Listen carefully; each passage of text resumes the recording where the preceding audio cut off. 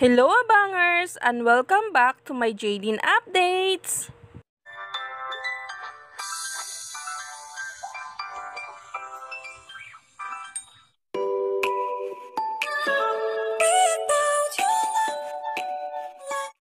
OMG! James Reid pinahiramang damit kay Queen Nadine Lustre at it's spotted pa together suot ang gift na bigay nito.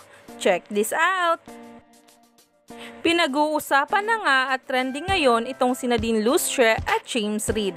Matapos ngang makita sa pop-up kamakailan lang ay ngayon naman kitang-kita na naman sa isang video kung nasaan nga ang dalawa na agad din namang nagtrending dahil nga sa mga bawat suot nito at talaga namang pinapakita nga mismo sa Jaden fans, lalong-lalo na nga sa Soko Nation. Dahil nga dyan, agad-agad nga silang nagtrending sa social media. At ito nga guys, ang mga bagong post ni Queen Nadine Lustre at mga kaganapan ngayon. Kung makikita nyo nga ang damit nito, ang chariol at ang necklace ay talaga namang masasabi mo na talagang magkasama nga ang dalawa. Marami nga agad ang nagkomento kung saan naman ang sabi nila. Ang simple ni ating pero kahit nakamas kita mo yung ganda niya, ang gaan ng aura niya kasi ramdam mo yung pagiging mabait niyang tao eh. The way she speak, beautiful eyes din talaga ang best asset niya still looks fresh and pretty even with the mask on. By the way, I love the message on her mask, be kind people. At sinabi pa na nasa pop-up nga daw silang dalawa.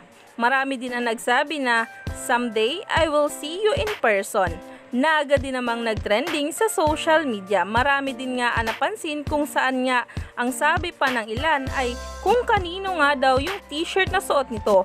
Maluwang nga daw para kay James Reid. Marami din nga ang nagsabi na talaga nga namang pinapakita na nga sa social media especially nga sa Instagram account nila ang mga ebidensya na talaga namang nagsasabi na patuloy pa rin nga ang pagmamahalan at pagsasama nga nila sa iisang bahay. Kamakailan nga lang ay naisyo nga ang dalawa matapos ang kanilang mga successful event kung saan nga daw ay pinuntahan mismo ni James Reid ang ating Queen Nadine Lustre at binigyan nga daw ng flowers. Nagad din namang nagtrending sa social media.